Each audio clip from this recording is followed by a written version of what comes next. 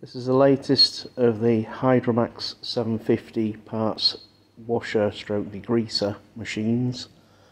Full stainless steel construction, comes ready to use so it's all pre-assembled. We've got with this particular machine we've got automatic heat control.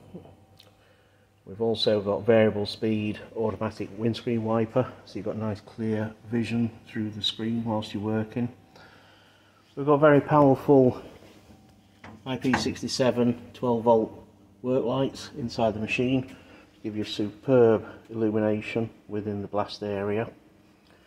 All stainless steel construction, heavyweight gauntlet gloves, drip tray integral for under the door there. Slam shut door catch. All operated by a foot pedal, so simple to operate, just press the pedal, everything comes to life. You got air pressure regulation on the front of the machine so you can adjust the pressure for the ability to clean.